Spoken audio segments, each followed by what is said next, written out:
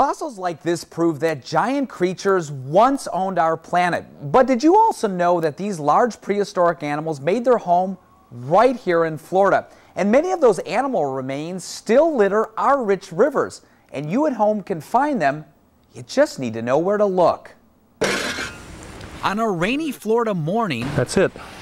All the tools for a successful dig, hopefully. Mark Renz begins his search, his hunt for prehistoric Florida. This fossil hunter knows there's an ancient world right below his feet. Only you have to be willing to hike, get your shoes dirty, and go waist deep in the cool waters of the Peace River. But once you get there, it's like peeling away the layers of a prehistoric Florida. Oh, look at this lemon shark tooth sitting right on the surface. And Mark loves to find shark teeth. But not just any shark's teeth. It's a snaggletooth shark, a lower. This shark has not been in Florida for two to three million years.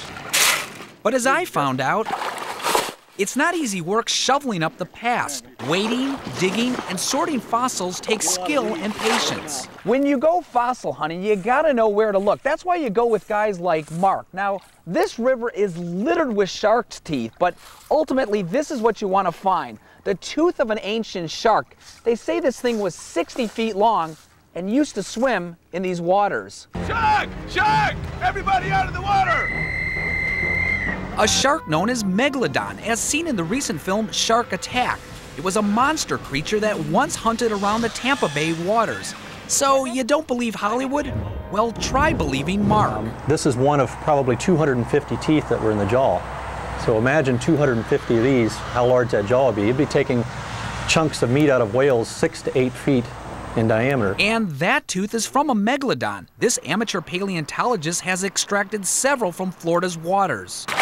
But that's not all he has found. This is a mastodon elephant tooth. This is a lower jaw from a prehistoric horse. Yeah, this is a the tip of a mastodon elephant tusk. And Mark says there is a good reason why Florida has so many fossils waiting to be discovered. We had no earthquakes here, no volcanic activity or shifting of tectonic plates. Mark's love for fossils began when he was just a kid, but now it has turned into an educational process and a living. He has written several books on the subject, and almost every day he takes groups out who pay him to uncover the past. A past most people in Florida don't even realize is buried right underneath their feet.